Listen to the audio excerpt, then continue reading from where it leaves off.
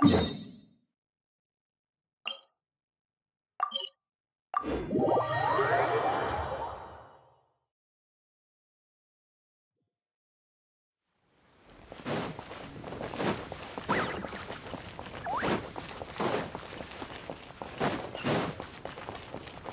race you there.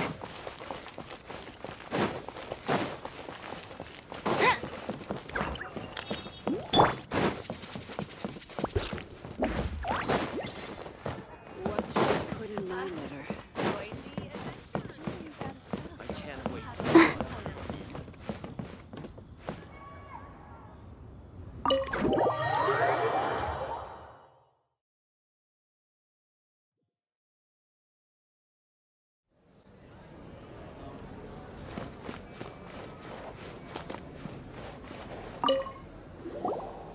Welcome, friend of Childe, and congratulations on the first day of your illustrious career with the Fatui.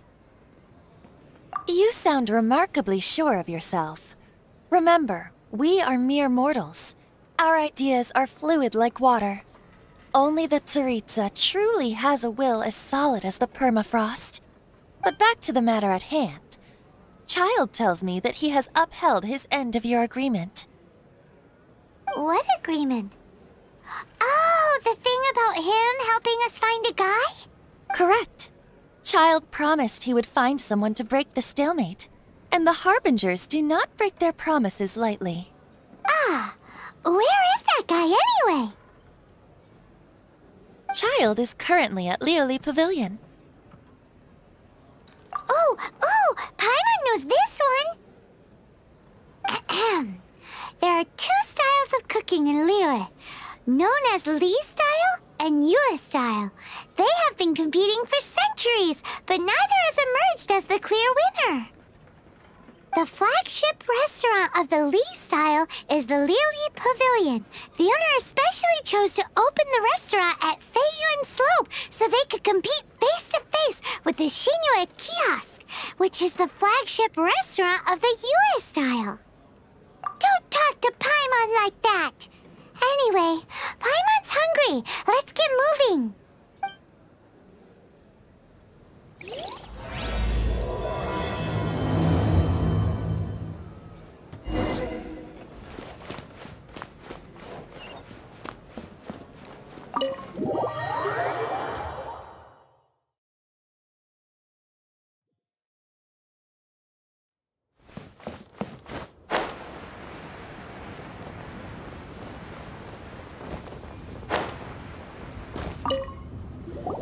Aha, you made it. As promised, I've found someone who can help you. Someone who can solve the mystery of why the Liyue Qixing would hide the Geo Archon's vessel. So, where is he? In Liuli Pavilion? He certainly is. Come, I'll introduce you. I took the liberty of setting up a business dinner, as per the Liyue custom.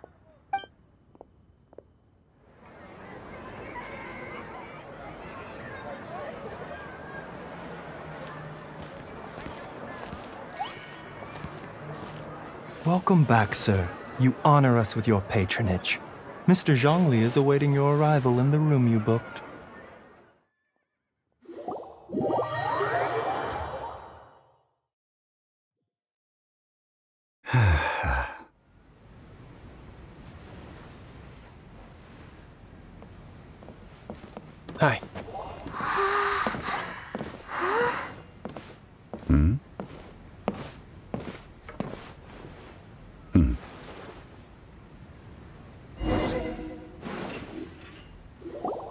Allow me to introduce Mr. Zhongli, consultant to an organization known as Wangsheng, and a trusted associate of the Fatui. Indeed, Wangsheng's line of work can be sensitive at times. Let's just say they understand when discretion is needed. And we, the Fatui, have always been glad to do business with friends who walk in the shadows. Walk in the shadows? It is an honor to meet you. I have heard tell of you from Mondstadt. Discretion? Shadows? Ah, Is Wangsheng some kind of business involving dealing with people? Indeed, it is as you have guessed. The Wangsheng Funeral Parlor organizes burials. We ensure that those who pass on do so in peace. Huh? Did you think he was some sort of hired killer? The Fatui calls many such people friends, but the Wangsheng Funeral Parlor does not dabble in such business.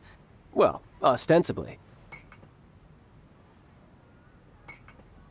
Well, they are still. Ah, I shouldn't say too much. In any case, I brought you to meet Mr. Zhongli because. Because I can bring you to see Rex Lapis's vessel. What? Don't be so surprised. Sure, the Geo Archon's body has been squirreled away by order of the Tianquan Ningguang. Uh, But first, let's hear what Mr. Zhongli has to say, shall we? Rex Lapis may be the prime of Adepti, but he is ultimately an Adeptus. Many Adepti have left us over the millennia. This is the inexorable trend. The times have changed. You must have felt it too when you were at Jueyun Karst.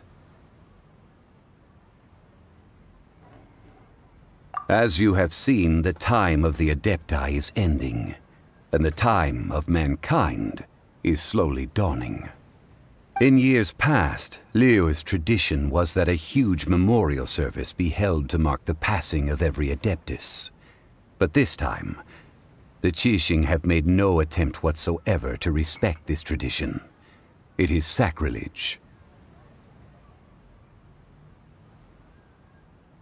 Yeah, the killer hasn't even been caught yet. Deicide or not, the concern of the Wangsheng funeral parlor is this. When the ritual to receive this god is so kingly, it is all the more egregious for his final send-off to go unattended to. Traveler, Childe has told me a lot about you. Since you have had dealings with the Anemo Archon, could I ask you to help me prepare the Geo Archon's last rites? A wise decision. The Tianquan Ningguang has forbidden anyone from accessing Rex Lapis's vessel, which of course you would need to access if you were to achieve your goal of meeting all of the seven. Precisely. Only by participating in the rite of parting will you be able to see the form of Rex Lapis again. If we are agreed, come with me. We will speak of the details as we walk. All right, my bridge building work here is done. Turned out well, didn't it? You can go if you want to. Don't worry about me. I might just have a few more drinks and get acquainted with these things they call chopsticks in the meantime.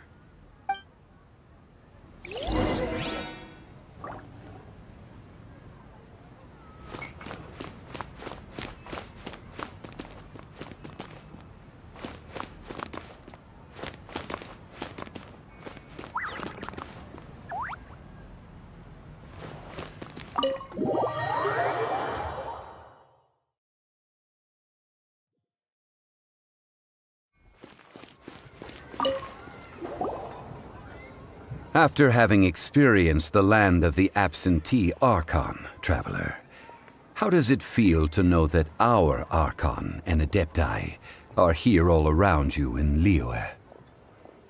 Indeed, the weight of 3,700 years worth of history runs deepest in the true divinity of Liyue. Organizing the rite of parting should prove to be an enlightening part of your travels. Liyue is the most prosperous of the seven nations, defended by deities and ruled by the Qixing. As such, the diplomatic maneuverings of the Fatui have gained no purchase here. Ningguang of the Qixing has always been on her guard against the Fatui. That is in all likelihood why Childe wants to make use of the Wangsheng funeral parlor's connections. Huh. What would Childe get out of us doing the rite of parting anyway? I neither know nor do I wish to know. As far as I am concerned, the Fatui are merely financial sponsors. I only wish for Liyue's traditions to endure. These are the advance funds that Childe has provided. If you use them up, you can go to him to apply for any subsequent funding. Wow. Well then, let us be off. The first step in our preparations shall be to obtain some prize Noctilucous jade worthy of a deity.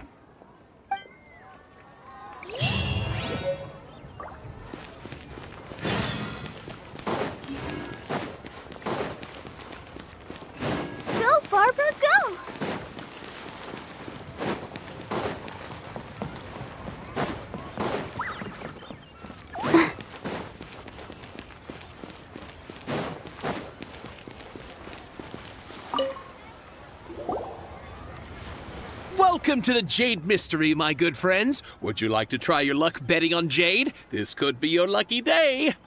It's cheap and it's fun, and who knows, you just might strike it rich. Betting? No, no, we're here for. Um. What was it again? Noctilucous jade, of radiant grade at the very least. Radiant grade, Noctilucous Jade? I see. You're not a tourist. My apologies. I have some here for your perusal.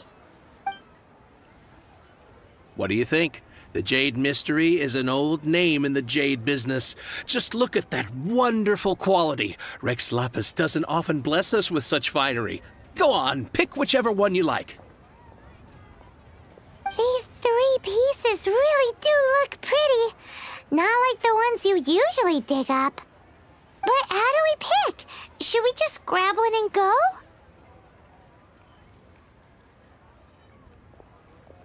Oh? You want me to decide? That is fine as well. If it were me, the answer would be simple.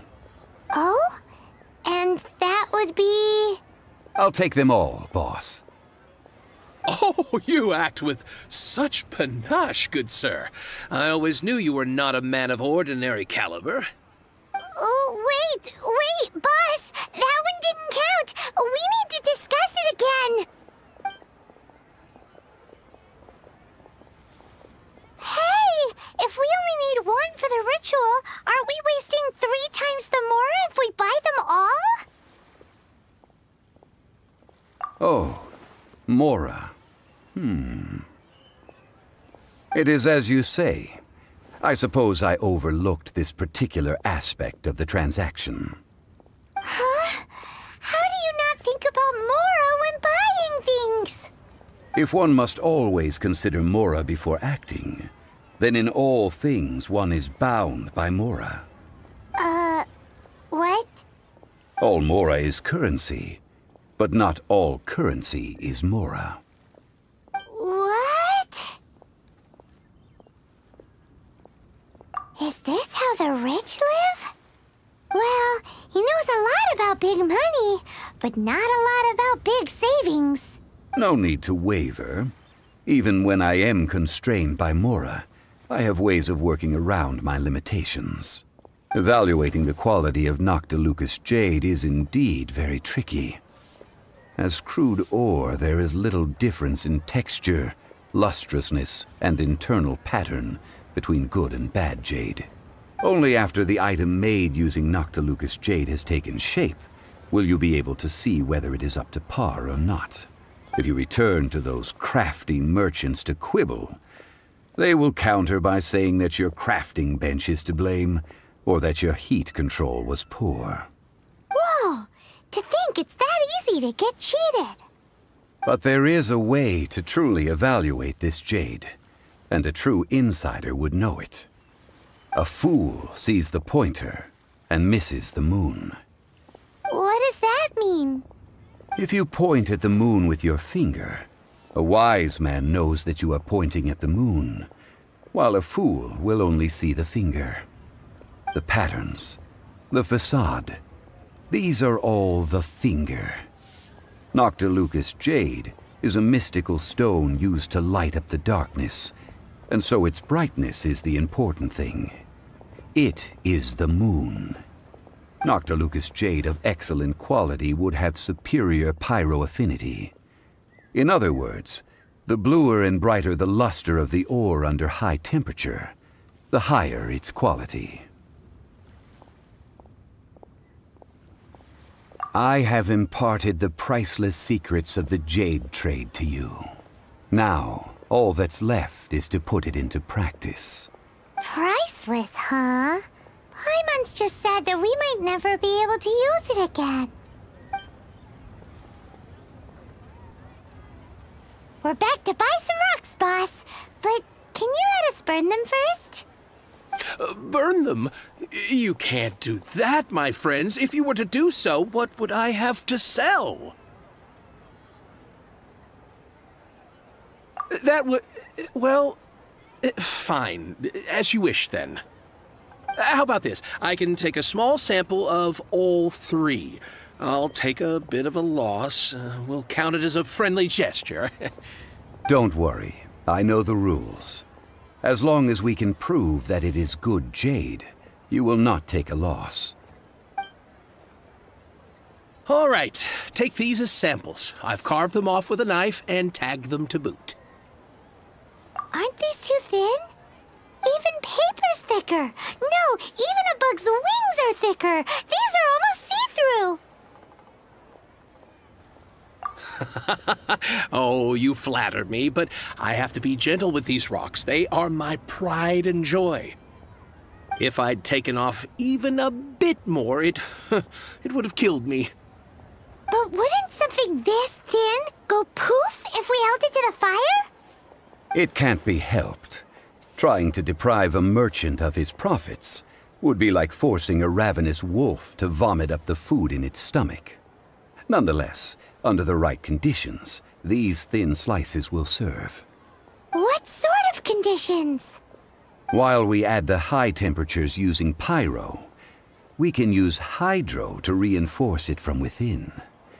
This way, the samples will not disintegrate immediately. Oh! Oh, sir, to think you were this learned. Thank you for your understanding. Strictly speaking, Asking for samples when we have not yet agreed to purchase the goods is unfair. Trade in Liyue must be based upon fairness. Well, guess we just need to find a place to try this out. You mean at Wanmin Restaurant? As long as we do it when she's not in. That would not do. It is a place where people come and go, they would be endangered if the elemental reaction were to get out of control. We cannot take such a risk. Oh, Paimon remembers! We once saw this down at the Dadaupa Gorge in the camp of the Hilichurls from the Meaty tribe. It's real sturdy and should be able to take the elemental reactions. Now, let's pack those samples up and make a move.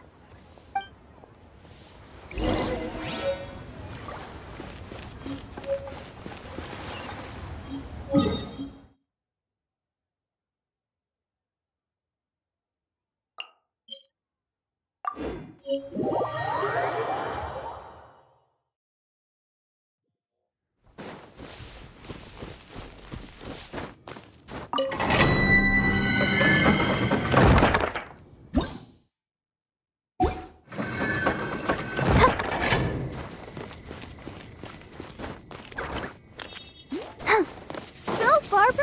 has been a long time since I last set foot in the Nation of Wind.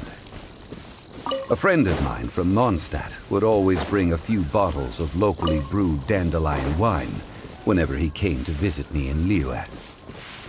It must be said that the famed liquor of the land of pastorals is... That's the pot! Ah, it looks like the Hilichurls are still using it. It's a bit impolite, but we gotta cut the line!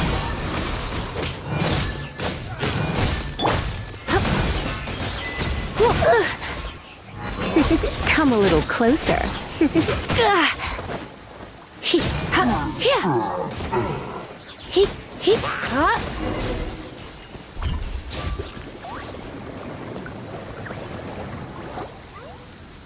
There's still soup in here. These Hilichurls sure have big appetites. This soup looks like it could be used as our hydro elemental protection. Let's fire it up and begin our experiment. We're ready to go. Paimon will help remember which one of the three is which. Use pyro to keep making the pot hotter until we get the results we need. Mr. Zhongli said that the shinier and bluer the ore gets, the better it is. So, pay close attention.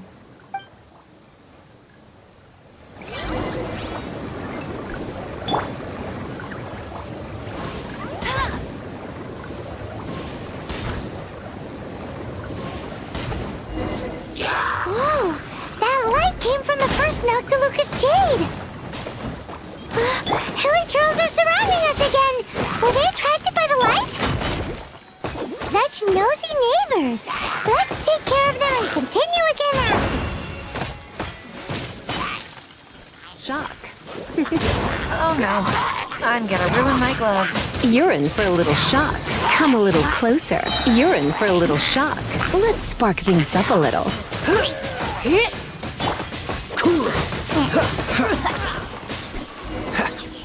What's the hurry?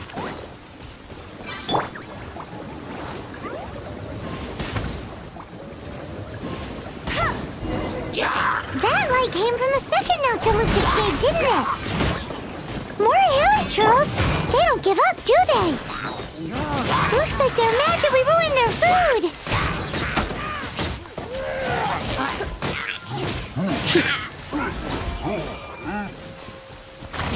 Come a little closer.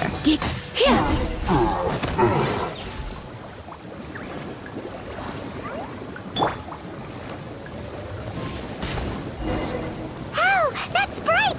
Too bright! that was the third Noctilucous Jade, wasn't it? It was so much shinier than the rest. Let's go with that one. Let's head back to the Jade Mystery to buy some jade, shall we?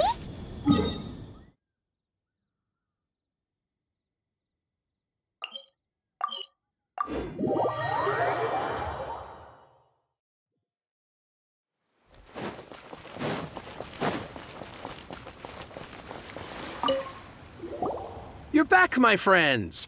I've kept the goods for you. Which of them would you like?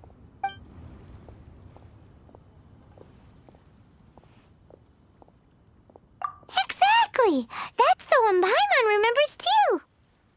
No problem. If you have your eye on this one, you can have it. Then we'll take a box of the third type of jade. Done. All the same, uh, and pardon me for asking, but I'm curious. Whatever do you need this much top quality Noctilucous jade for? Hmm. I suppose it would not hurt to tell you. We need them to make implements for the rite of parting. Parting? Oh, dear. I'd heard the rumors, but had given much thought to them. This. This means that Rex Lapis really is. Oh, it's hard to believe. Even though the Jade Mystery has been in decline, we have always been under his protection. It is said that when our Lord lost his way while going incognito in the city 200 years ago, it was a spoon from the Jade Mystery that he had used to sample the local delights. Alas, alas, all things must pass. well, if this is to be used to say farewell to Rex Lapis, then I shall sell this to you at half the price. Are you sure? You didn't want to even give us an inch before. If not for our Lord's protection, this city wouldn't exist as it does now. No proprietor could earn money off such a thing. Oh, I'm sure Rex Lapis will feel your sentiment, boss. In the safe hands of the Liyue Qixing and good honest merchants such as yourself, I for one believe that Liyue will continue to prosper as it always has done. All right. Thank you, my friends. What's with me getting all sentimental like this? I'll practically be giving away all my fortune at this rate. Now that we've made our choice, let's take this Noctilucous jade back. Hey, wait a minute. He said it was half price, not that we could leave without paying. Oh, right, I'm sorry. I must have forgotten to do that too. Let me see. As I thought, I didn't bring any. Any what? Mora, my apologies. Another oversight on my part.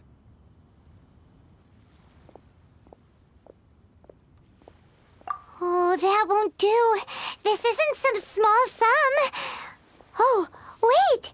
Didn't Childe give us some advanced funds earlier? That's a relief. Have a look, boss. Is it enough? It's fine. Just enough for half price. Though, to be honest, it'd be all right even if the sum wasn't quite enough. Well, it's settled then. Let's take this jade to Yujing Terrace. That's where we plan to hold the rite. Look at you bossing everyone around. You didn't cough up a single mora. Hmm, it seems that we must. I will keep that in mind. Thanks, both of you.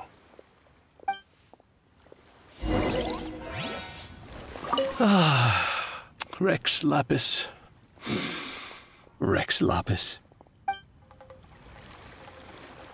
Ah.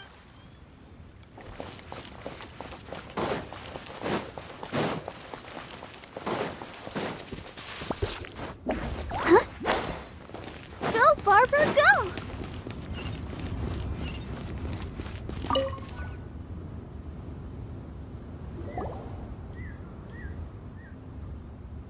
We can leave the jade here.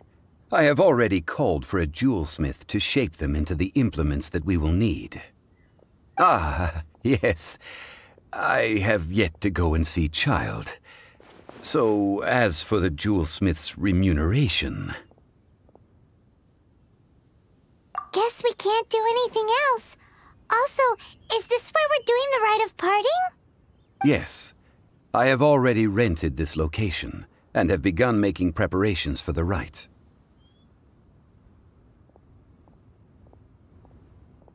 That's right.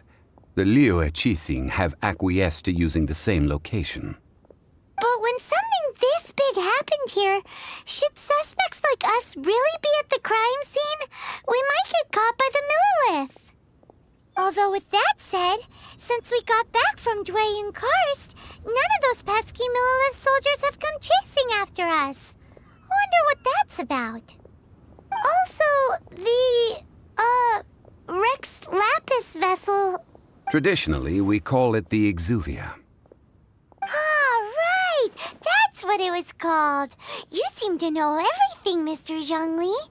Um, so, was this Exuvia hidden away by the Qixing? I mean, we haven't even figured out who the murderer is. One must think that they already have someone in mind. Or perhaps they already know. Surely they must have found all the evidence that there is to find here. These things are for the authorities in Yujing Terrace to consider. Trying to help would probably only add to their troubles. Before the rite is conducted, the Exuvia will be kept temporarily in the Golden House. Golden House? The only mint in Liyue, which is to say the only mint in Teyvat. All the mora that flows throughout the world is minted there. Wow! Oh, no!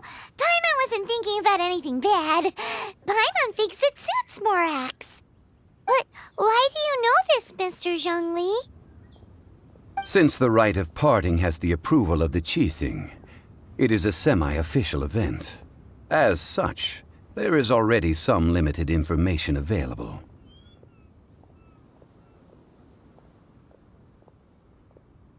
Perhaps each has their motives. But this is the capital of commerce. A little exploitation once in a while is not unacceptable. In Liyue, where the god of contracts reigns, only contracts may not be betrayed. I, for one, have no issue with little maneuvers outside their remit. Well then, we should go and prepare the perfumes used in the rite. Perfumes? Where'll we get those? Do we buy them? No. Perfumes used to honor the gods must be freshly decocted. The quality of the silk flowers we require is also special. Silk flower petals contain a fibrous material of good quality, often used in brocade making. Its scent, however, is most elegant, and is especially suited for solemn events, like giving offerings to gods and adepti. It's time for Zhongli's lectures on high society again. we shall not speak of the details right now. Follow me. We shall go to the merchants to purchase our ingredients.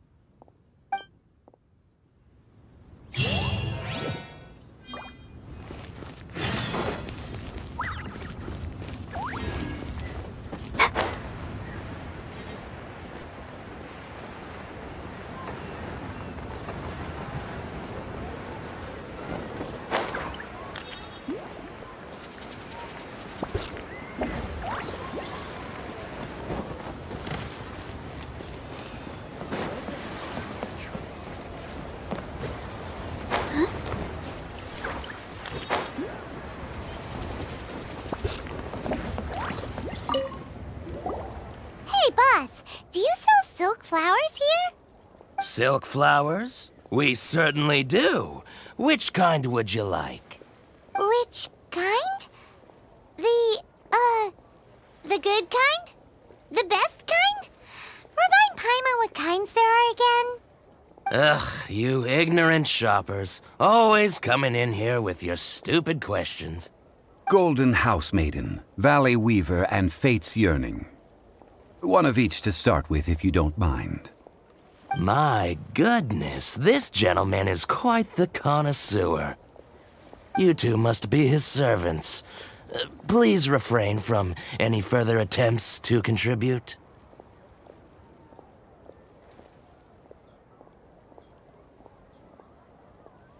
I'm sorry? Ah, yes. We've met before, haven't we? Sorry, traveler. I shouldn't have spoken to you in that tone. Now then, please peruse at your leisure. Do let me know if you have any further thoughts. Silk flowers exhibit different properties based on how their environmental conditions differ from their ancestral habitat. Nevertheless, these are fine specimens, excellently preserved. Just look at the abundant foliage here, and these stamens, glamorous as a maiden of the Golden House. This strain is an evergreen and mostly grows under complex hydrological conditions. By contrast, this variety thrives in any dark, damp location, often in large clusters. Morphologically, it is distinguished by the profusion of petals and densely packed stamens, though its powerful scent gives it away just as easily. Lastly, this strain is quite the recluse. Unlike its exuberant cousins, flowers and foliage are minimal, and when in season, it has a subtle yet enduring scent. It was first discovered by the ancients when they scaled the mountains in search of the Adepti. Silk flowers have all but disappeared from the wild today due to geographical changes over Liyue's history. Most are not grown by horticulturalists. Wow! A true connoisseur. Most of that was news even to me. I possess but a smattering of trivial knowledge. My traveler friend is the one to watch. They are on track to set foot in every corner of the world. Oh, Mr. Zhongli, you're way too humble. So, which silk flower did you want anyway? I'll take them all, boss. Again? How can I put this? When purchasing opera tickets, it is natural to decide based on which singer has the most melodious voice. The same logic applies when purchasing a pet bird. But this silk flower purchase is not an analogous case.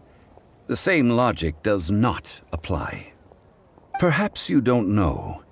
Tradition states that we should decoct perfume from different subspecies of silk flower when making an offering to a statue of the Seven. Rex Lapis will then make his own choice between the scents. Like several other tedious and complicated traditions, this one has become simplified over time. But this is the only rite of parting to take place for one of the seven in 3,700 years. As such, I do think we should honor tradition down to the last detail in this case. Now that's settled, a question. Do you have any Mora on you? You forgot to bring money again? Zhongli. Uh, if I may interject, did I hear you say that these flowers are to be an offering to the Lord of Geo himself? Yes, in a sense. Gosh, well, why didn't you say so? I heard the awful news about what happened at this year's Rite of Descension. It would be bad luck to say it out loud, but I've been worried about our dear Lord ever since. I'm worried that everything I've heard is true. Since these flowers will be used to glorify our Lord, they're free of charge. Just don't forget to pass on my regards. Are you serious? Why wouldn't I be? I would be nobody if not for Rex Lapis. If he hadn't written those poems in praise of my wares, they'd only be worth a fraction of what I can sell them for today. Huh. So much folklore here revolves around Liyue's deity making cameo appearances in support of local businesses. Thank you, boss. I think I speak for all of us when I say that your generosity has saved our skins. Our skins? You were the one who forgot to bring money. Please, it's the least I could do. So, now that we've got the flowers, how do we make the perfume? Ideally with the help of an expert. Unfortunately, none of my acquaintances have personal experience in the art of decoction. Talk about first world problems. Hence, I need you to help by asking around in the city. Try the common folk, especially women. So this time we get to go around town looking for nice-smelling ladies to talk to? Paimon likes this job. I will wait for you near the Statue of the Seven. Meet me there when the perfume is ready. Maybe we can find some good candidates at the Adventurers Guild. Let's ask Lan. She's master of the Liyue branch, right? Huh?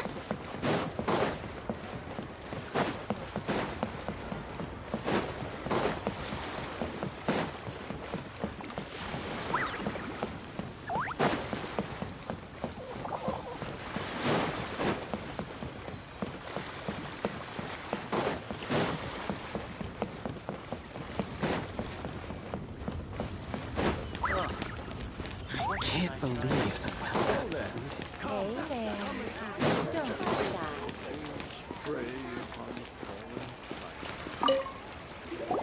Lan, we need to ask you for a favor.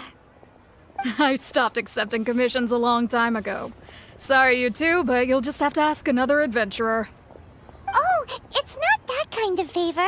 It's just a teeny tiny thing. Wow. Just wow. I'm just going to assume that you're either joking or being sarcastic. To be fair, I put a lot of effort into my appearance for someone who spends all their time in the great outdoors. But I smell great? Don't be ridiculous. Well, Paimon thinks you smell amazing. So come on, Lan. What's your secret if not perfume? Now that you mention it, yes, there is something. What is that scent? Oh, it must be from the Qingxin flowers I picked on the way back. I forgot I still had them with me. Aha! The truth is out. Lan's got a soft spot for wildflowers. Uh, no, they were for medicinal use only. Anyway, this is a pointless conversation. If you want to know about perfume, try talking to Chi Ming. The fortune teller, right? Paimon remembers she smells pretty good. Thanks, Lan. See you around.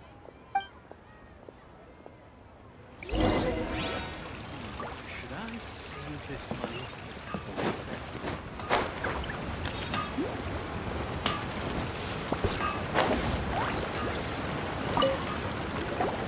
Hello. How may I help? We've come to ask you a question. Uh, I. Sorry, you caught me off guard. Most people aren't so direct. I think we need more time to get to know each other. Uh, we just wanted to know what perfume you normally use. Oh, well, I don't actually use any. That said, some of the cosmetics I use are scented. Perhaps that's the cause of this confusion. Since I usually set up my stall by the docks, I avoid perfume like the plague, because Celestia forbid those lusty sailors catch a whiff and come hunting for the source. That's the worst thing Paimon's heard all day. While we're on the subject, have you never heard anyone mention Ying'er's homemade perfume? Ying'er? Oh, as in scent of spring? Yes, that's her. Many a rich family's daughter has gotten her to make perfume for them. Apparently, her homemade product is better than anything you'll find on the market. Great! This is just the intel we need. Finally, we're getting somewhere.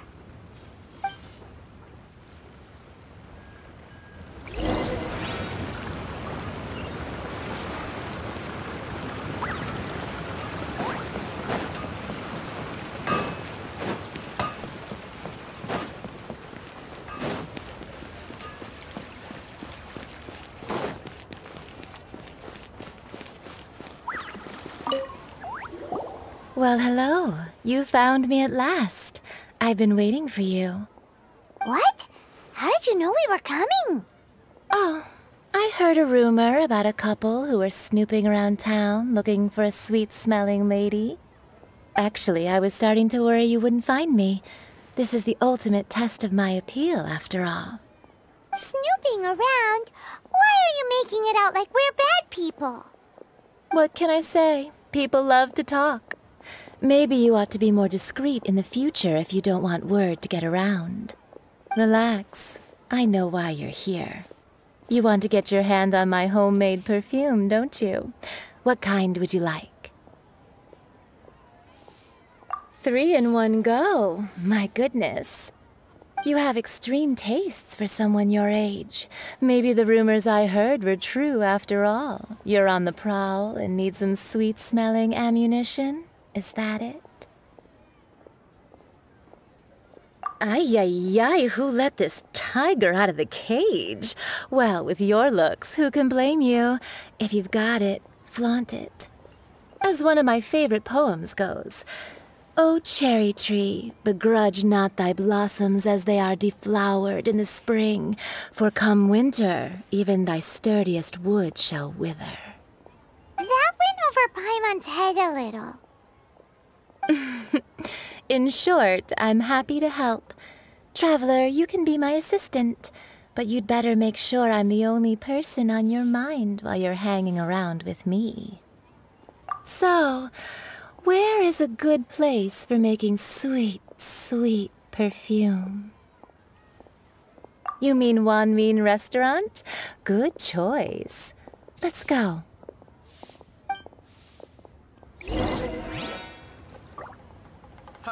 Adventurer! Think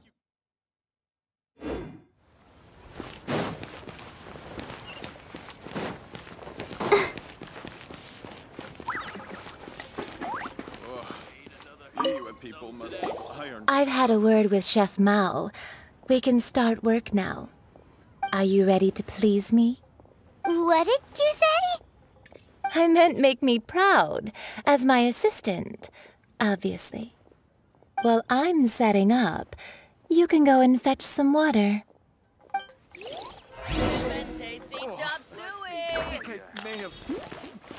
Go, Barbara, go! Leo's really got a lot going for it.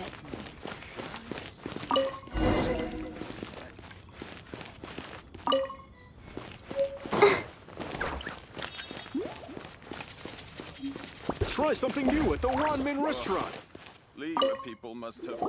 This water will do nicely. Now, I need you to extract the silk flower essence using a crafting bench. Perfume making uses an altogether different technique from alchemy. Here, let me teach you. Very carefully, take hold of the mortar and pestle. Gently does it. You need to keep your wrist firm so your hand doesn't slip. Now use your strong hand to stir it with a persistent rhythm. Keep going until the juices start to come out. Ooh, you're a natural, like a fish to water. Now take these and try it out on your own using a nearby crafting bench. Don't forget to do all three. They look visually identical during the essence extraction process, but I will put them into separate containers when the perfume is ready.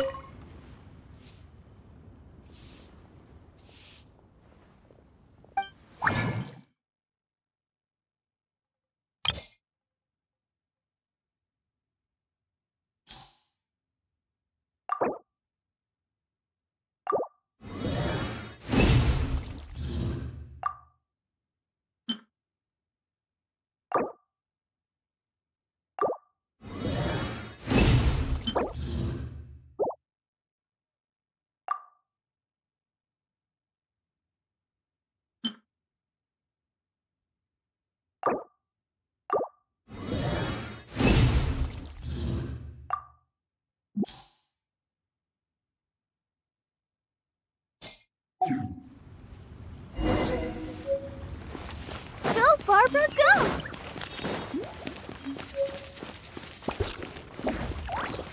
Hmm, should I save this? Wow, this is some exquisite silk flower essence. On to the next stage, the most important one of all.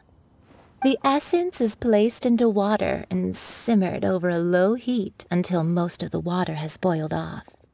You must take care to control the heat during this process. If the temperature goes too high, it will affect the scent. So please focus on controlling the heat. This is the final step. Don't waste a drop of that essence now. We want all of it in there.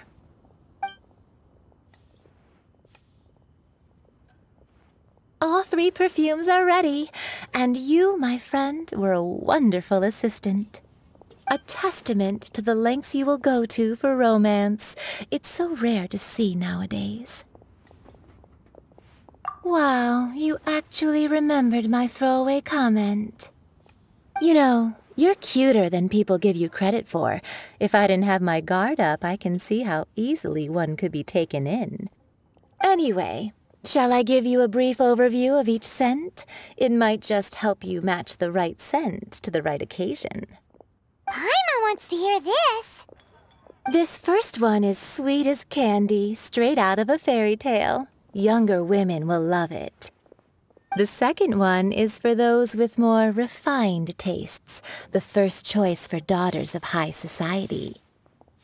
Finally, the third one has a soft but lingering scent, like a mist that captures the last light of dusk. Mature women adore this one.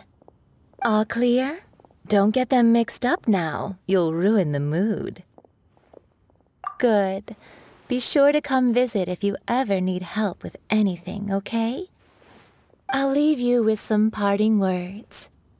One who tries to sail three boats simultaneously should be careful not to go overboard. Come and hang out with me at Scent of Spring sometime, okay? Let's take these three perfumes over to the Statue of the Seven. Something new at the Mr. Zhongli's probably been waiting a while. Liyue people must have iron stomachs.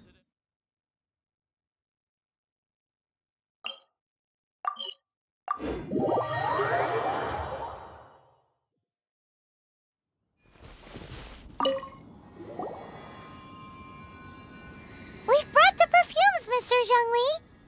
Did we take too long? You were just staring up at the statue. Uh, oh, you're back. Don't worry, I haven't waited long.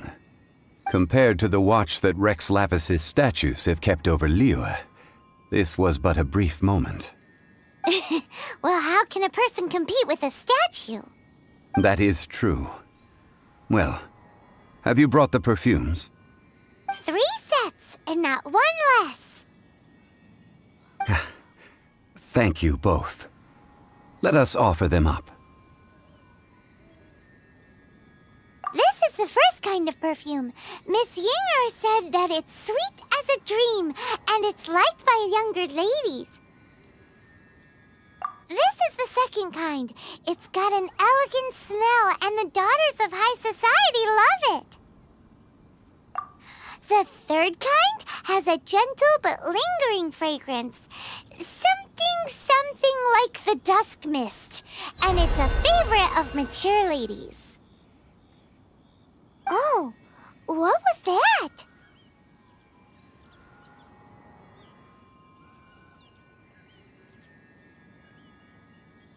That's the one older ladies like, right?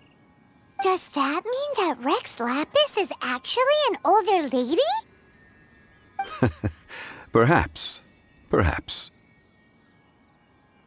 Rex Lapis has taken on countless forms. Perhaps that really was one of them. What a shame. We only got to see the giant dragon form, and... Let's hope the Qixing can catch the real killer. We can leave that to the authorities. Let us focus on the fond farewell for Rex Lapis.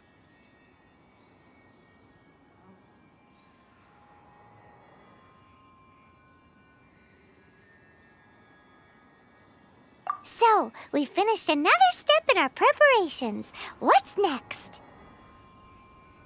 Next, I would like the two of you to help me borrow the cleansing bell. Cleansing bell? At present, a friend of mine named Madame Ping is the guardian of the cleansing bell. She lives near Yujing Terrace. If you ask her, she will know what to do. Sure, but aren't you going to come with us? Ah, I have certain reasons why I cannot be there in person. Please, do this for me. Man, why's he gotta be so secretive this time? Go,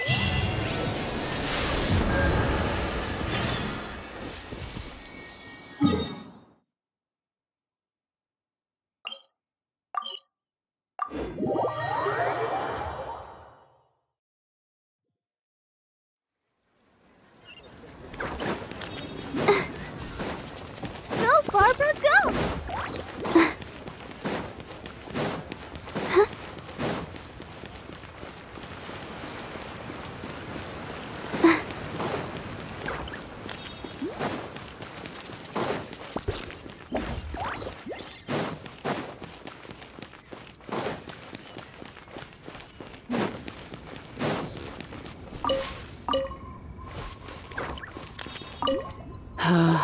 All things must change. Uh, it's nothing. It's nothing. I just thought it a great shame that so many of these glazed lilies have wilted. What happened to them? Back in my day, people said that glazed lilies can read human hearts. If they heard beautiful sounds like laughter and singing, they would also bloom joyfully. But if they heard too much wild gossip or slander, they would quickly wither away. So that means these flowers feel what's happening in Liyue? Yes, the rumors of Rex Lapis's death are no small matter. They are everywhere. Some say it was a Fatui plot. Others say that the Qixing made it all up. And still others think that that which lies in the deep is breaking free. This harbor is like a mountain of dry tinder. One spark, and the fire will consume us all. Well, I shall say no more. This old woman's grown too old and naggy. Did you have something to say, youngster? Borrow something? Oh, you've come to borrow the cleansing bell, yes? Apart from that, I don't have anything of value that you youngsters might want. But it was not originally mine either. That trinket used to belong to a friend of mine. I was a vain beauty when I was young, and I would pester him for that bell all the time. He could not dissuade me, and so he gave it to me. But he said that if someone should come to borrow it, I must not be loath to give it away. It has been many years, and who knows how many times someone has come to borrow this bell. Still, though, I can't recall when it started. It's been a long time since anyone has come to borrow it. Oh, these old bones are so slow to look for things. I doubt you can wait that long.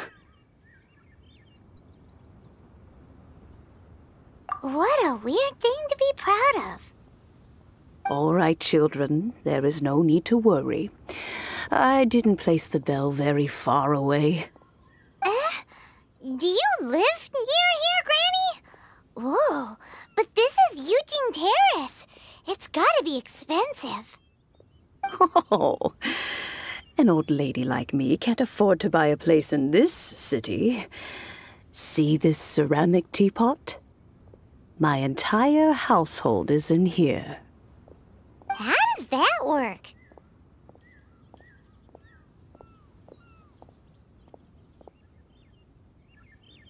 What? There's no way Paimon would fit in there. And why do you need Paimon to go in anyway? Can't you just lift the lid and look inside? Oh, youngsters. I simply mean that the bell is somewhere inside this teapot, and you are quite welcome to borrow it. If you can find it.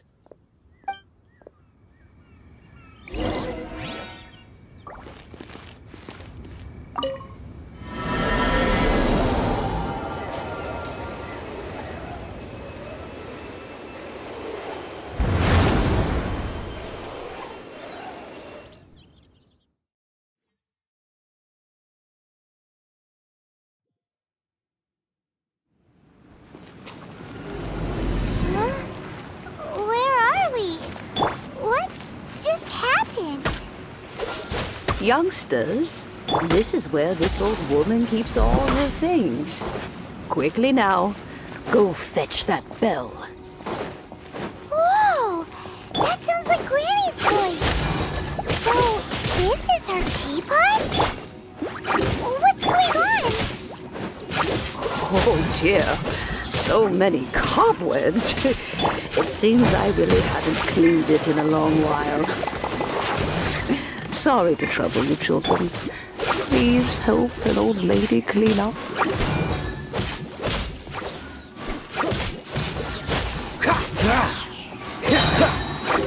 Don't get frostbite.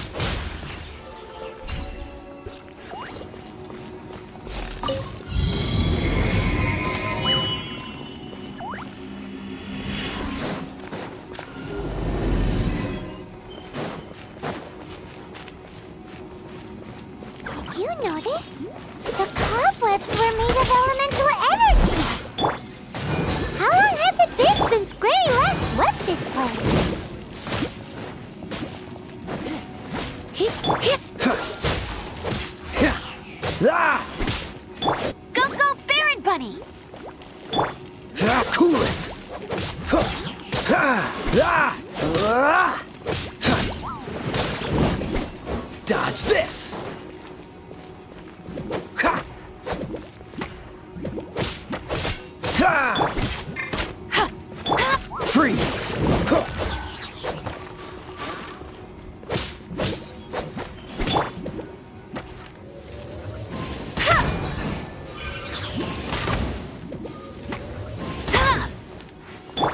Dodge this!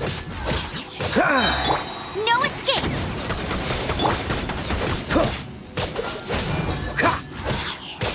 This moment will be frozen in time.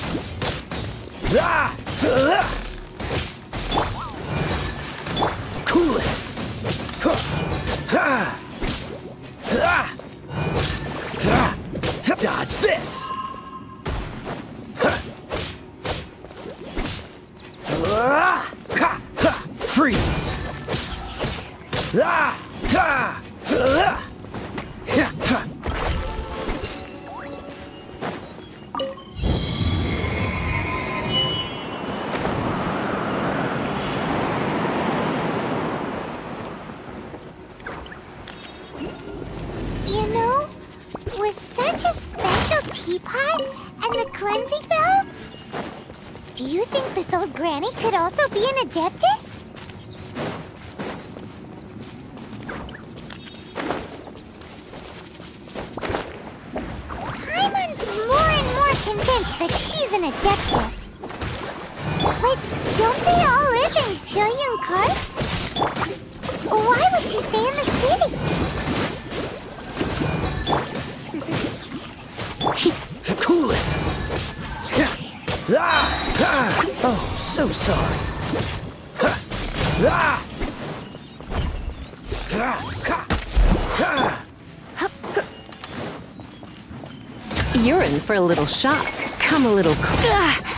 try not to enjoy this too much.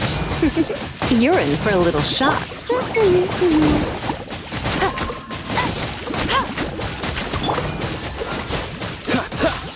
Come a little closer. You're in for a little shock.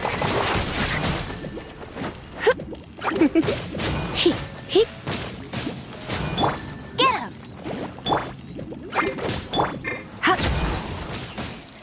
Come a little closer. You're in for a little shock. Come a little closer. You. You're in for a little shock. You come a little closer. Dodge this! Ha! Ah! Ah! Ah! You come a little close. No one escapes my sight! Let the show begin. Yeah! Freeze! Ha! Ha! What's the hurry? Ha! This moment will be frozen in time. Cool it! Ah! Ha! Ha!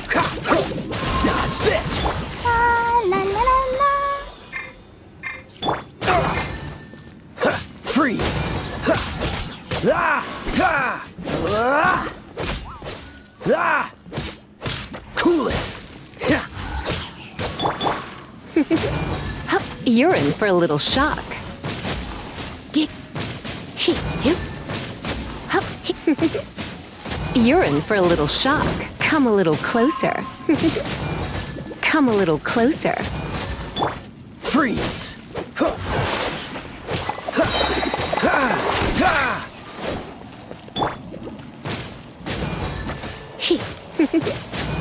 Come a little closer. You're in for a little shock. Come a little closer. Dodge this! Ha! Ah! Ha!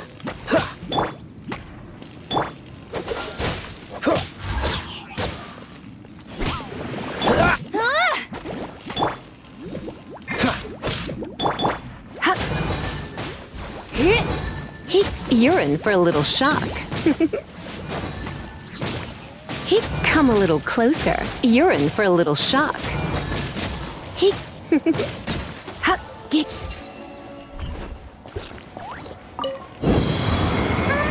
How many levels does this teapot have? It would be nice if we had one of these too. Or at least we wouldn't have to camp outside. I'll protect us.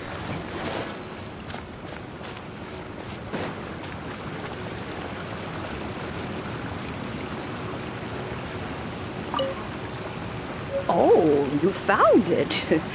Youngsters are so quick on their feet. Oh, now, let me. All right, that'll do. Come on out now, children.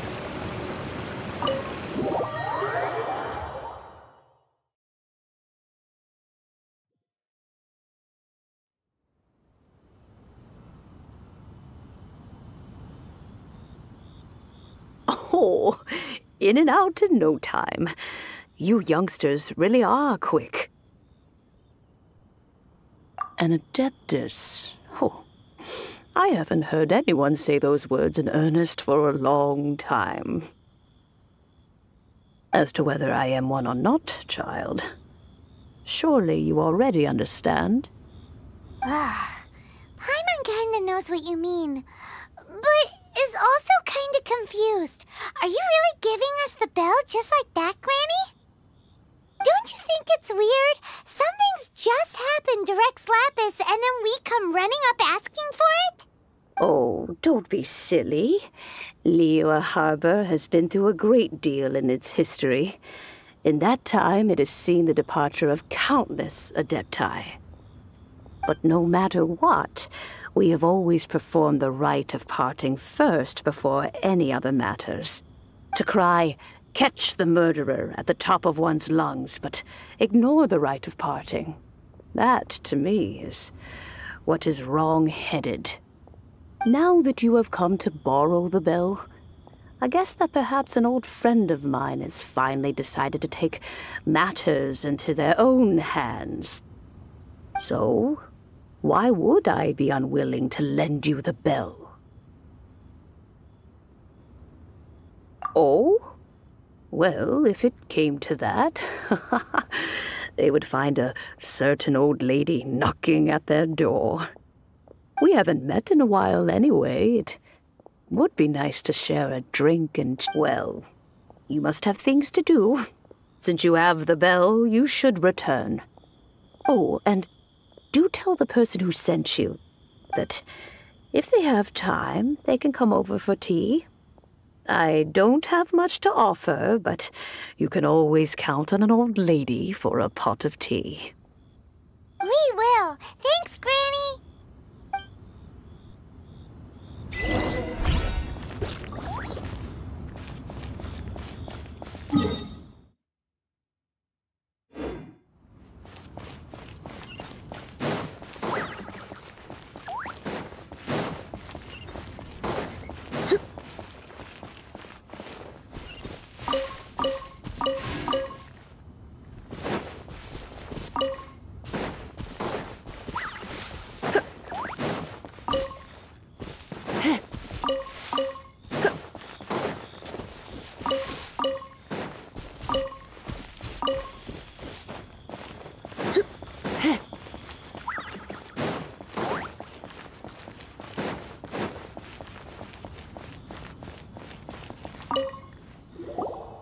Indeed, this is the cleansing bell.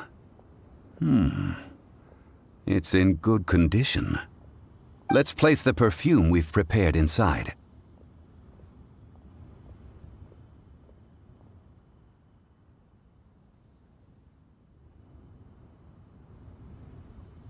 An Adeptus. Hmm. That's suspicious. But if you don't want to talk about it, we won't pry. Oh, yes, that old granny asked us to tell you something. If you have the time, you can come over for tea. I don't have much to offer, but you can always count on an old lady for a pot of tea. that tone does not suit you. Still, her teapot is indeed very good. There are none better for brewing tea. When a suitable time arrives, I'll bring a spot of fine tea and pay her a visit. So what's the next step in our preparations? Hmm. Next, we need to purchase kites. Ooh, Paimon loves kites! Are you taking us kite flying? Is this our break time? no, no. Kites are children's toys, yes. But they also play various symbolic roles in Liyue's rituals. I will explain it to you. But our next course of action should probably be to purchase the kites first. Oh, sure. Curiouser and curiouser.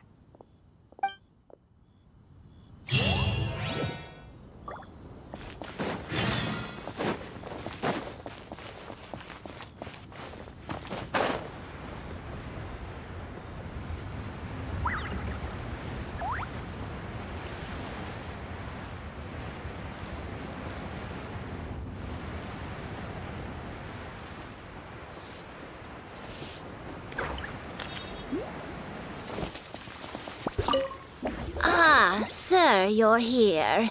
The seven kites you asked for have been made to order. Would you like to take them now? Yes, thank you. It's rare to see customers who want to buy this type of kite nowadays. In the early days, we used to get orders from people of all walks of life. Well, this is Mr. Zhongli from the Wangsheng Funeral Parlor, so he's probably well versed in all these walks of life. We've talked about a whole bunch of things while traveling with him. He seems to know Liyue's favorite topics, money and government, really well, but he likes talking about less useful topics instead. Well, that's because I prefer to share fun things with you. Children's toys are very fun things, that's for sure. I enjoy watching the children at play as much as anyone else, but there is more to it than that. Finely crafted toys are well loved by children, but this craft itself has been honed over thousands of years, and there is meaning behind that.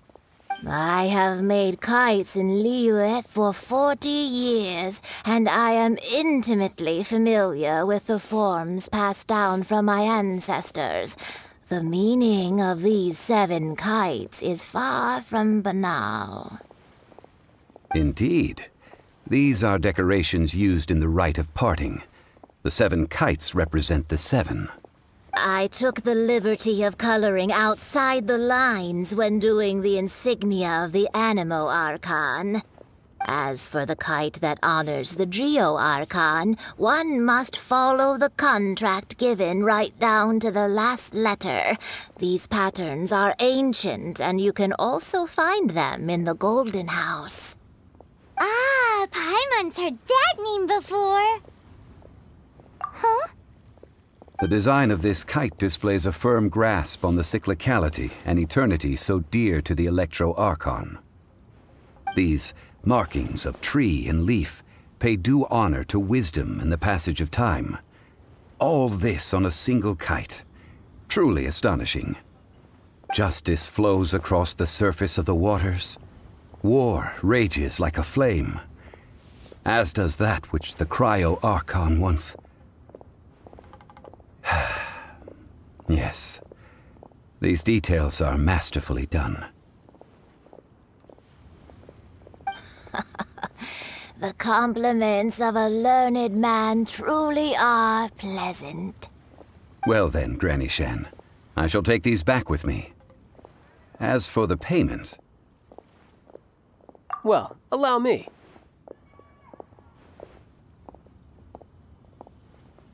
Hey, it's Childe!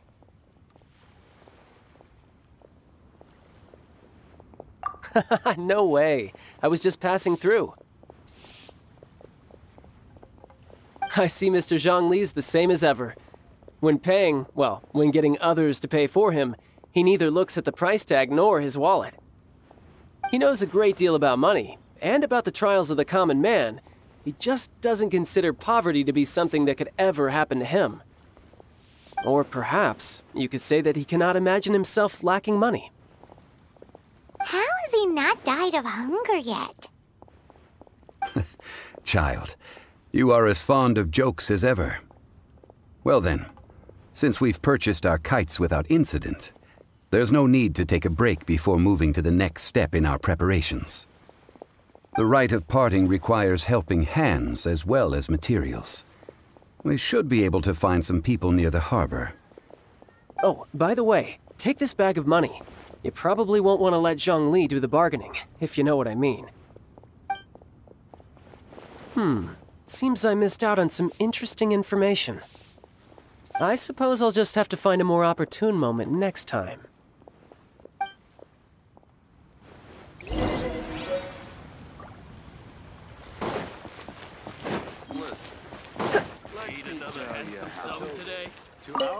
Hiring help? Sure. But let me just say first that I'm a reserve member of the Adventurers Guild. I take adventuring commissions, but I don't do anything clerical. Adventure? Venturing into the mountains to capture a few crystal flies seems adventurous enough. Eh? That's not hard. Almost a bit too easy for a reserve adventurer. Nah, never mind. I'll only charge you 15,000 Mora. What say you? A most fair price.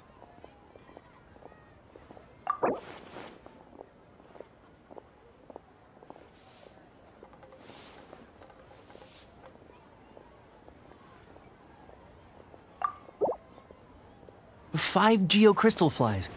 Yes, I do think it's worth about this much. I'll do it.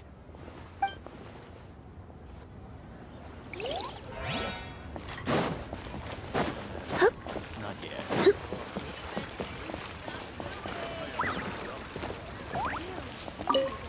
A full day of odd jobs at Yujing Terrace. Hmm. No problem. 25,000 per day. A fair trade, yes? Whoa, that's expensive. Um, could you give us a bit of a discount on account of the whole Hero of Mondstadt thing? Hero of Mondstadt? Never heard of them. Well, you may never have heard of this hero, but it seems you've heard of Mora nonetheless. Thus, I will simply pay the whole sum.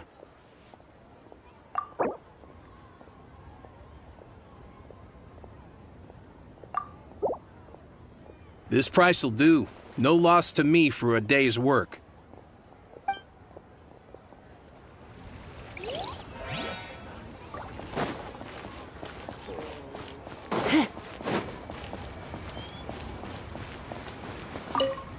Oh, help? Sure. I, Tick, always put in 100% effort into everything I do. Of course, there'll be a premium if you want me to give 110%. So what's the job? Let me see. We are still missing some wooden implements over at Yujing Terrace. They aren't uncommon objects, so I didn't make any special preparations for them. No problem. That'll be 20,000 Mora for a single trip. How does that sound? Done.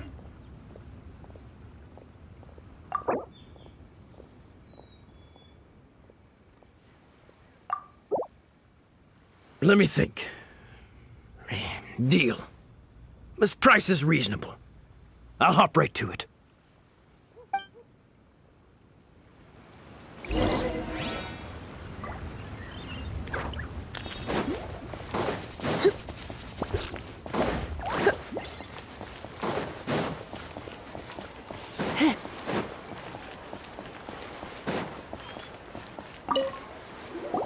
All finished then? Splendid. Any leftover cash is yours to keep. A favor for the Fatui should never go unrewarded. You think you can buy us off with some loose change? No way!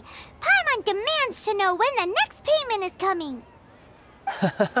Well, how does this sound? You give me the information I need, and maybe I'll leave the Northland Bank's vaults open and unattended for half an hour. What info do you need? Huh. Does that mean you know what he's after? Yikes!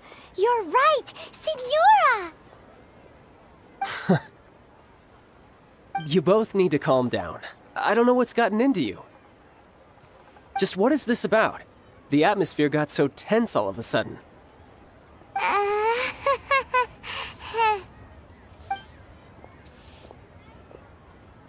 Next, we need some everlasting incense. For this, we need to go to Bubu Pharmacy, the finest pharmacy in all of... Is everything okay? Everything is fine. I was just informing them that they need not return the surplus Mora. Now, if you'll excuse me, I must be going. Paimon definitely felt like Childe wasn't happy with us just now.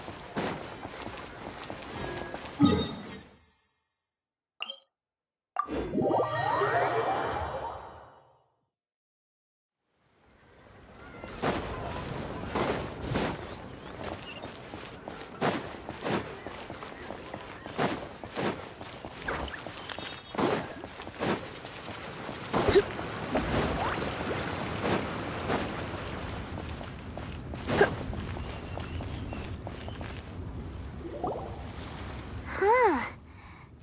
reception is deserted. And it seems kinda spooky in here. Hello? Is anybody there? Welcome to Bubu Pharmacy. Huh? D did you hear that? Where did it come from? The reception, it seems. How about you go check it out, and Paimon will bring up the rear.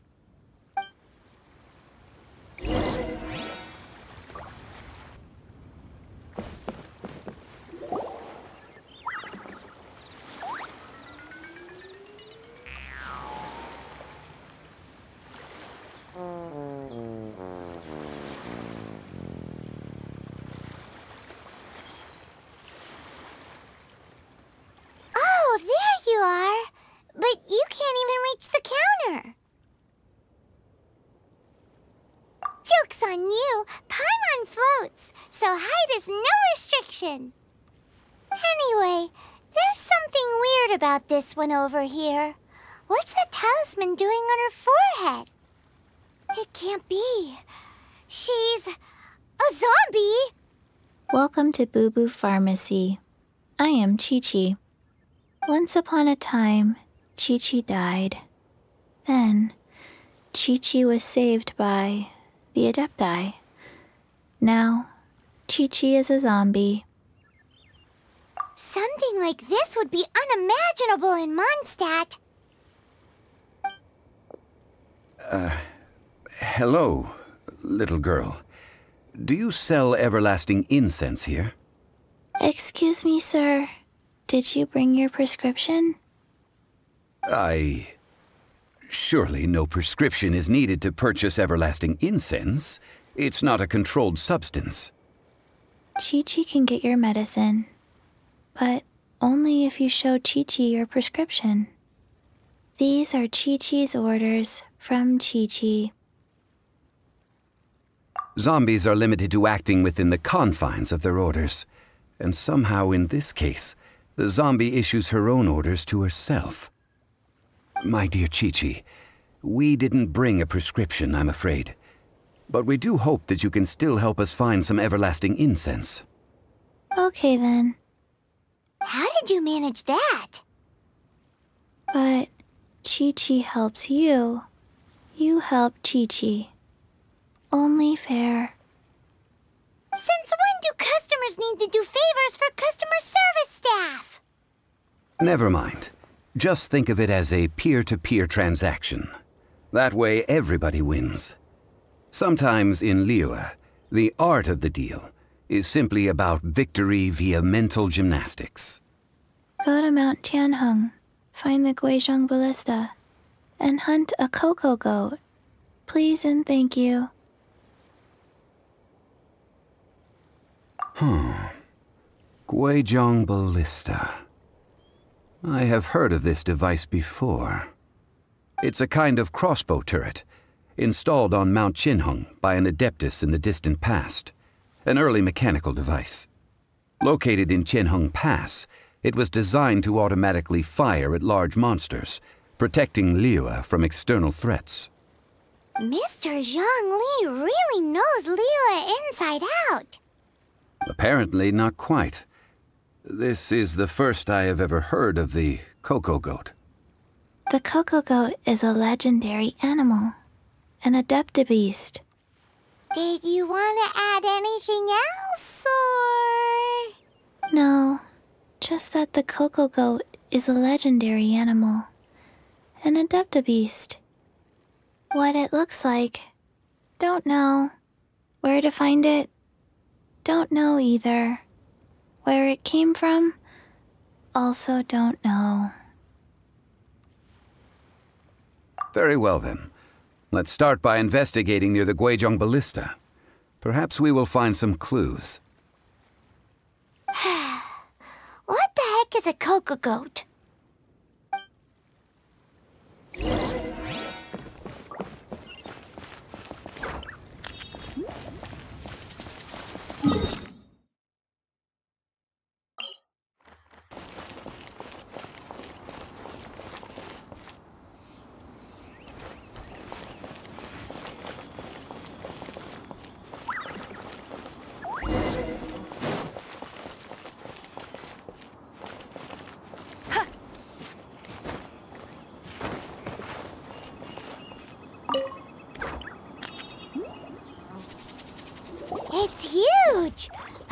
Can totally believe it took an Adeptus to build this. But how do you operate this thing? Just think how much strength you would need. Hmm. It is currently inoperable in any case. This device is broken. Aw, what? It broke? After millennia of wear and tear, even Adepti contraptions are difficult to maintain. So what are we gonna do? Quick, Mr. Zhongli, use your unlimited high society knowledge powers! Hmm. You almost make it sound like I'm some sort of bourgeois parasite whose only utility lies in providing quaint pieces of trivia on demand. That said, let me think for a moment. Ah, yes. Spare parts were made for the Guizhong ballista when it was first built, in case it was damaged in battle. As I recall, there is a military supply post from that period somewhere inside the pass. If we can retrieve the spare parts from where they are stored, we may be able to repair the Guizhong ballista. One just... So, what you're saying is that you actually understand the working principles? I have a smattering of knowledge on the topic. With the parts in hand, I could at least tinker with it.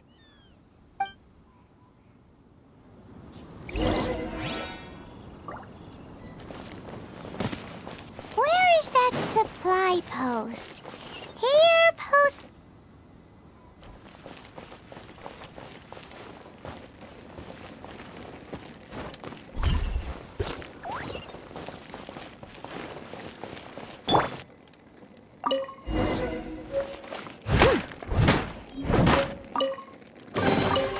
All in a day's work.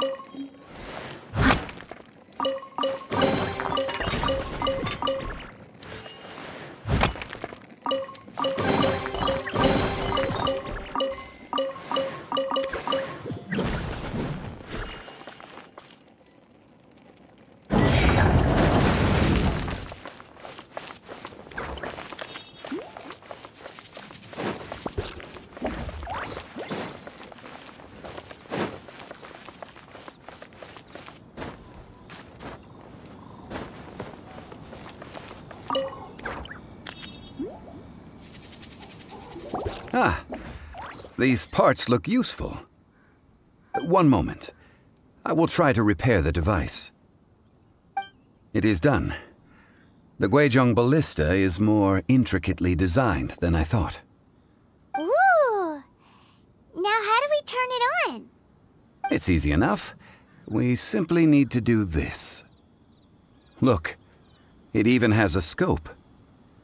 Over here we have nothing. And over there, more nothing. Hey! Just what do you think you're doing?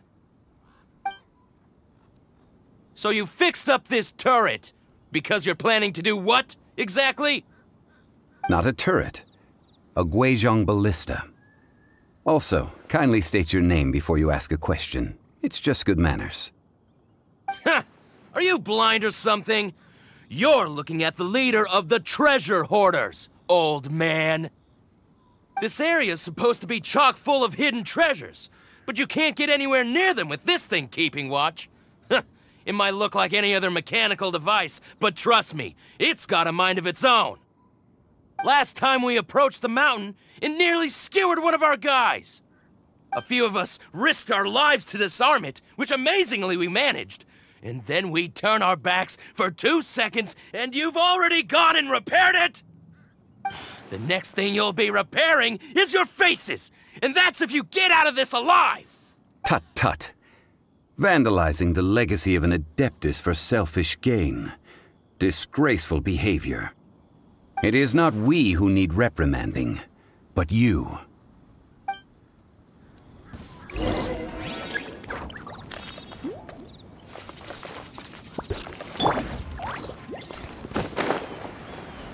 Want to take to my hammer? Cool it!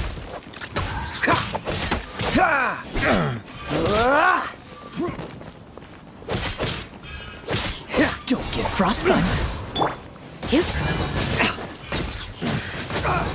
Come a little closer. becomes the Freeze!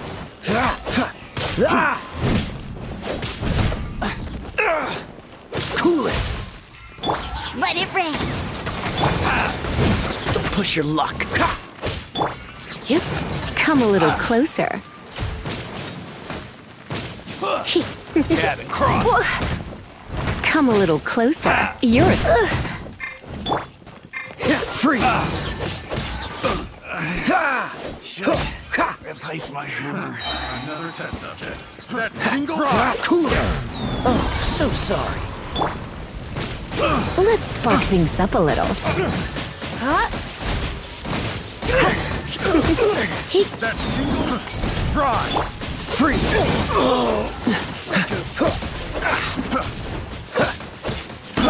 Try. Steady as stone, as a good knight should. That tingle. Have a little taste. I got careless. Try. This moment will be frozen in time. careless. Come a little closer. The wrong test subject.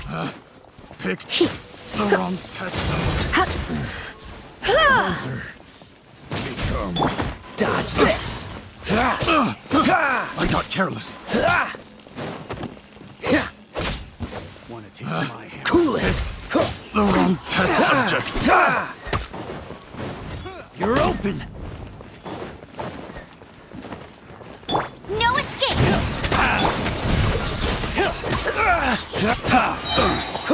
Oh, so sorry. You're in for a little shock. Come a little closer. He come a little closer. You're in for a little shock. You're open.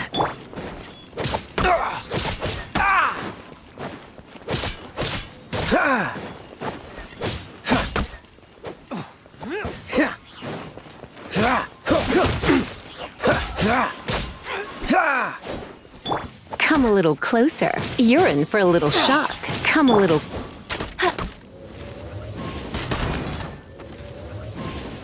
You're open.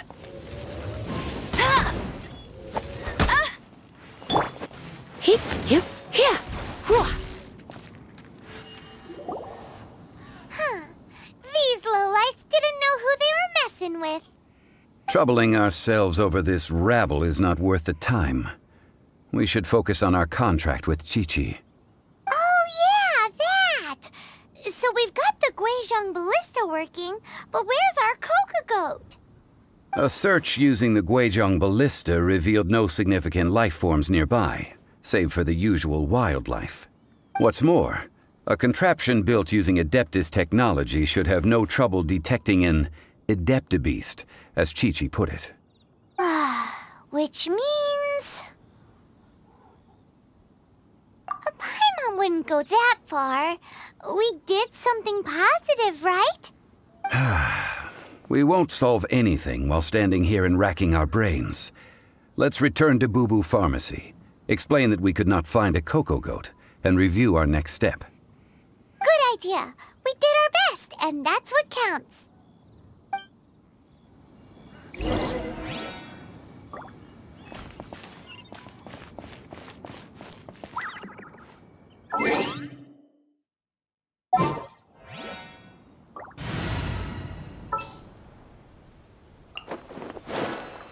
Wish me luck.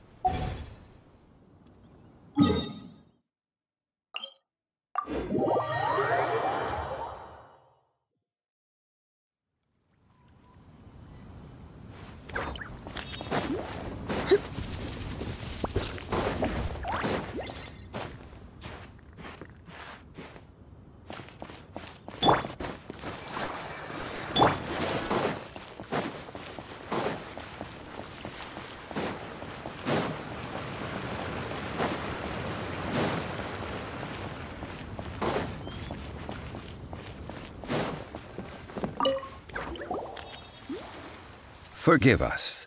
We were unable to fulfill our end of the contract. We found no trace of the Cocogoat Adeptabeast of which you speak. what a disappointment. Don't worry about it. But I feel very disappointed. Aw, poor Qiqi. Why does Paimon feel so guilty all of a sudden? Cocogoat milk is tasty. So tasty. Much better than normal goat milk. Only an Adeptabeast could make such tasty milk. I'm sorry. I have a poor memory. I cannot remember the name of the milk. That's why I wrote it down. Where did I put it? Ah, here. This is the name coconut milk. Huh? I owe you both an apology. I hastily agreed to what appeared to be an equitable agreement with this zombie child, when perhaps I should have undertaken further due diligence. Mind, Zhongli. You didn't know. As the Liyue proverb goes, all things are random and. Um. So, how are you supposed to predict anything? Literally, no one could have seen this coming. Excuse me, everyone. Did Qiqi say a bad thing? Oh. Sorry, but Paimon's gonna leave the job of shattering this poor kiddo's world to you.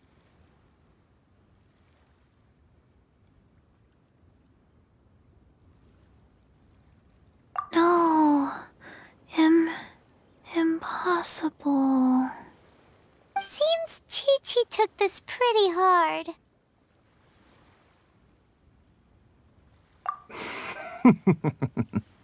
Someone learnt a valuable life lesson today, then. Thank you all for looking after my little Qiqi. Might I ask who? Ah, how rude of me. I'm Baizhu, boss of the Bubu Pharmacy. Paimon thought Qiqi was the boss. Turns out it's some wacko who wears medicinal ingredients around his neck. What a sorry state of affairs. This little mascot is even more of a simpleton than Qiqi. Ah! The medicine... The snake is speaking! I prefer to stay silent, faced with strangers, I must speak, lest you mistake me for an escapee from the medicine cabinet, for I am a living, breathing serpent! Don't mind Changsheng. She's a good girl, really. As for you three, communal chaos causing with Qiqi aside, what business brings you here? Do you sell everlasting incense in this fine establishment? Everlasting incense? Why, of course we do. Whew, at last. Things are finally starting to come together. Three million mora. Top quality. Guaranteed. Aw, too bad the Qixing have taken it over for now.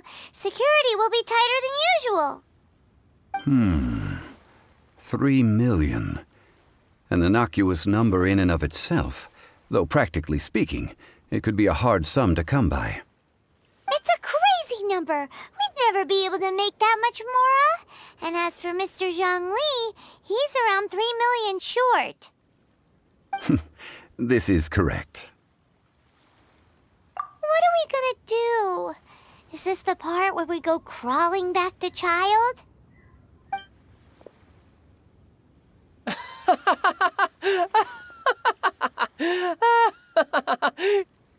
Cocogoat! Coco Goat! my sides hurt. Oh my goodness. I cannot believe you fell for that. Hey, less laughter, more sympathy. I'm almost in tears over here.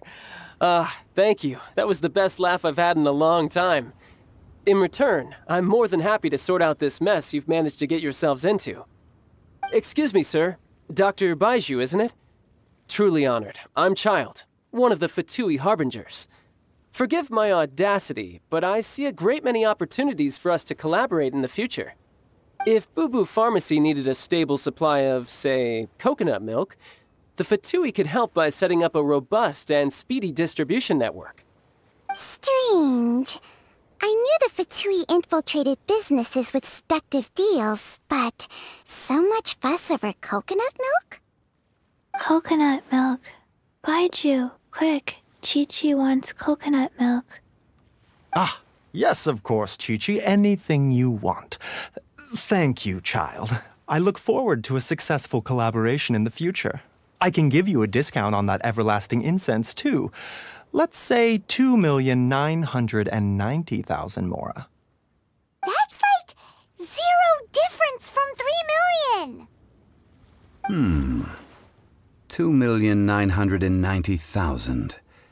Also an innocuous number in and of itself, though practically speaking, it is a whole ten thousand less than the original sum of three million.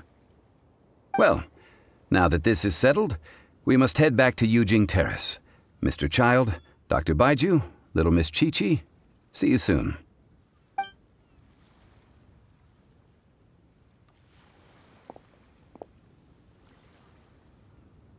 Ah, that lot is an absolute riot. Honestly, I can't remember the last time I laughed so hard. So, you've been eavesdropping, I hope? What have I missed? Yes, Master Childe. They spoke of the Qixing taking the Golden House. Well, well, well. Ningguang and her Qixing cronies. What else would they be hiding in the Golden House, if not the Exuvia? I apologize, but I warned you, didn't I? As the old Liyue saying goes, the walls have ears.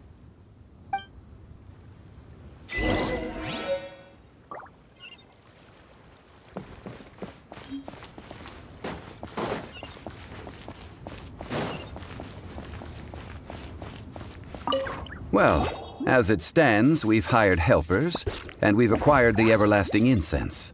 The completion of our preparations is not far off. Whew, finally. Well, traveler, have you gained anything from our adventure so far? Odd.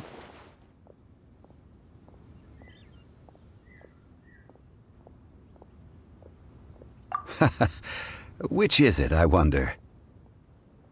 The questions that such travels raise are ever so complicated.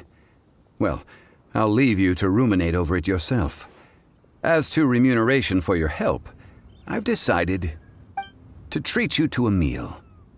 Oh, ah, yes, don't worry. I will remember to bring the Mora this time. Tonight, I shall take you both to an old hole in the wall, praised throughout Liyue. Hole in the wall? As in a cool restaurant? Indeed. Let us meet near the harbor, at third round knockout.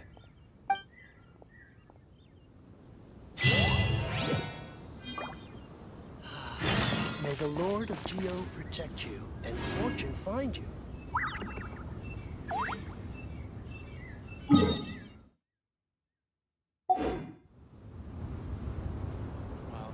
Why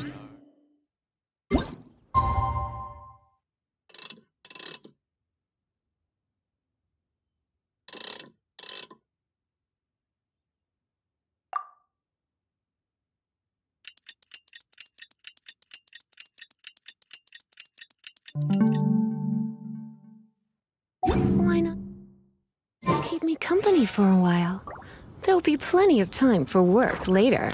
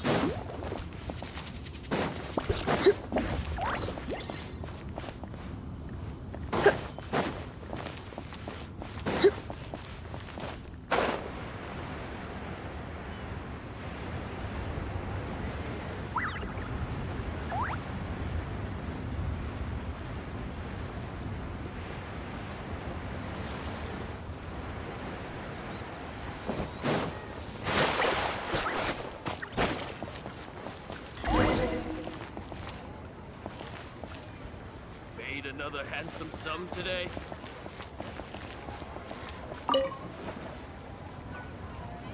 Ah, you're here.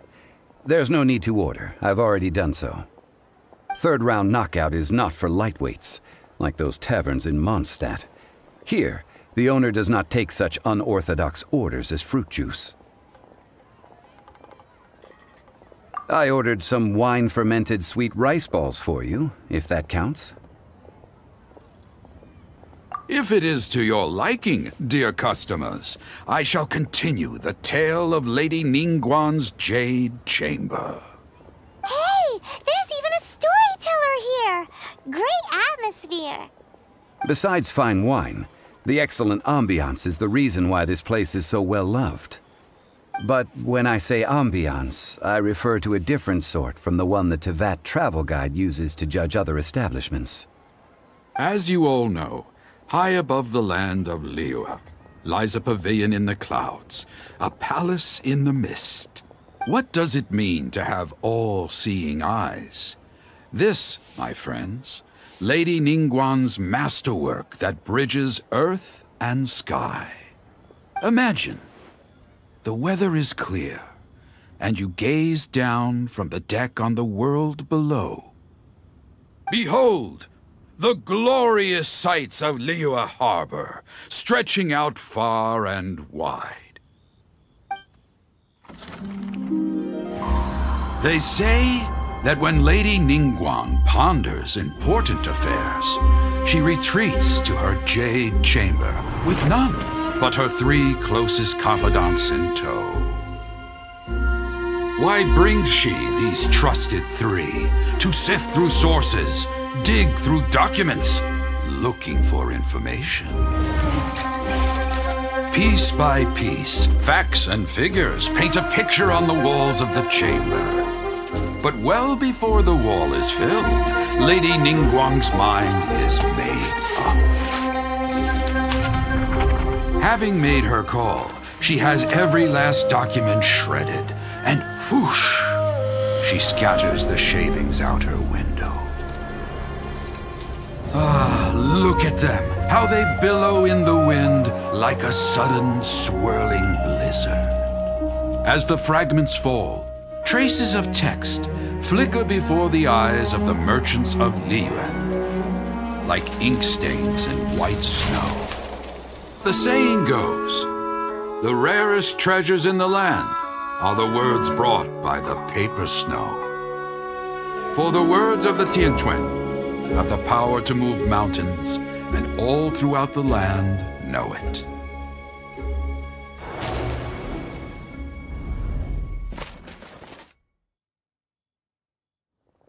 These are but scraps of paper, and yet they guide Lady Ningguang's hand. Such is their value.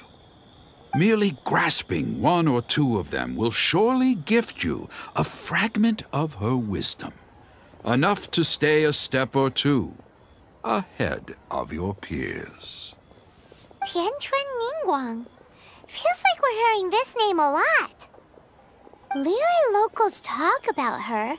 The Fatui hate her. She's most likely the one who hid the Exuvia, and we saw her at the rite of Descension. Huh. Paimon wonders what sort of person she is. At last I have found you. You who returned from Jueyun Karst. Who's there? Wait, I am not with the Millelith, nor am I here to claim your bounty. However, I am an emissary of the Liyue Qixing. My name is Ganyu, secretary at the Yuehai Pavilion, and I have come specifically to meet you. Well, in concrete terms, I am the corporate secretary for the Qixing. At the moment, I am serving as Lady Ningguang's special emissary. Ningguang sent you? We were literally just talking about her. My apologies, you who have returned from Jueyun Karst. I am duty bound and cannot extend my courtesy to you in full. But I have with me a letter from Lady Ningguang. She extends a formal invitation to you in her capacity as Tianquan. She invites you to her palace in the sky. An official invitation? Lady Ningguang said this Invite him to come here. I wish to meet him. At the Jade Chamber, together we shall snip every one of these entwining dark threads.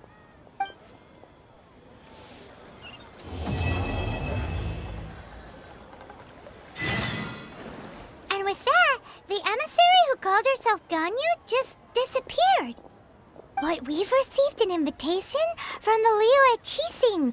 Paimon still can't believe it. We'll be meeting people that have way more money than Paimon could ever count. We should be on our best manners. An invitation to visit the Jade Chamber is a rare honor indeed. You'd best be on your way now. But don't forget about the rite of parting. Once you've finished at the Jade Chamber, Meet me at Dihua Marsh. Don't worry, we won't forget. Dihua Marsh. We'll see you there.